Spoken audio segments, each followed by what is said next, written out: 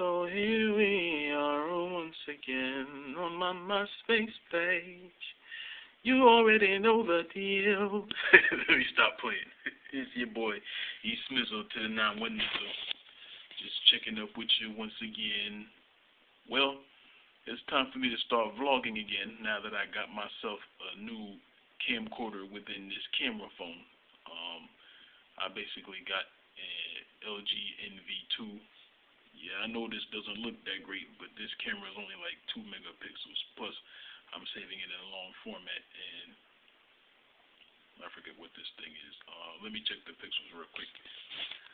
It's supposed to be 320 by 240, so that should be high enough res for a video to be uploaded to YouTube.